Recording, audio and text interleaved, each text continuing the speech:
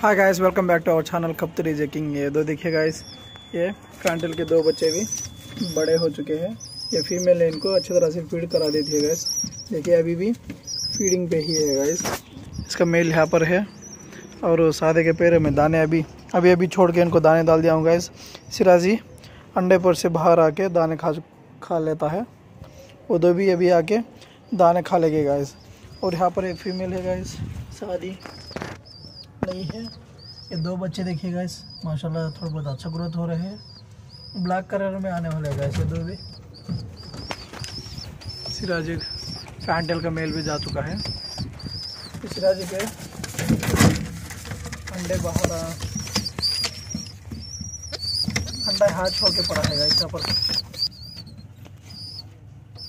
अंडा हैच होके पड़ा है गाइस मैं इसे एक बार अच्छी तरह से उठा लेके चेक कर लेता हूँ। अभी तक मैं भी नहीं देखा हूँ गैस देखना है एक बार अच्छी तरह से। इनके बच्चे भी बाहर आ गए तो उनका शौक भी पूरा होगा गैस इसके बच्चे एक दो बार आ चुके हैं, लेकिन बड़े हो नहीं पाए गैस क्योंकि एक बार छुए नहीं, एक बार ही इसके दूसरे खत्ते ने मार दिए हैं। एक बार अच्छी तरह से, उनको अच्छी तरह से ट्राई सिक्योर करना है गैस ये देखिए, दो भी खाना खिला के साइड आ चुके हैं। इनके दो बच्चे भी बता देता हूँ, देखिए। अच्छी तरह से इनका। टेल भी बहुत बड़ा हो चुका है गैस बहुत ही अच्छा। ग्रूम से आ जाता है। ये देखिए, वो साइड सभी भी। वो साइड जा चुके हैं गैस ये देखिए गैस हमारा। ये मैं बहुत दिन हो चुका है ना, ये बता के। ये सभी भी स्लाब डाल दिए है गैस ये। तीन और चार दिन हो जाएगा गैस ये ट्वेंटी ट्वेंटी टू डेज़ के बाद निकाल देंगे गाइस इसका रूम का।